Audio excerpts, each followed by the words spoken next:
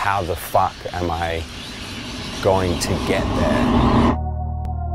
Just after 4 a.m. all my life, grinding all my life, sacrifice, hustle, pay the price, want a slice, got to roll the dice.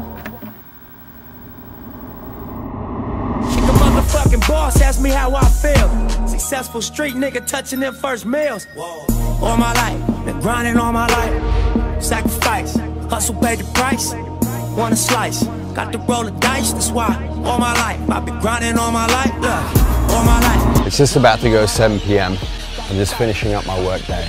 Really question, you know, how the fuck am I going to get there? And I just break it down and I just, I just take it one step at a time. I just put one foot in front of the other. I just go, okay, you know what? I can't figure out how I'm going to get through the whole day. Let me figure out how I'm going to get through my workout in the morning and then my cardio in the morning and then the morning. Let me get to noon and then let me figure out how to get to 2 p.m. and then let me figure out how to get to 4 p.m. and then let me figure out how to get through the evening and then let me figure out how to get through the night.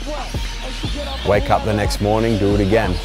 And you know, at this point, it's it, it's almost like a test. Let's see how dark I can go into the dark zone and leave no stone unturned.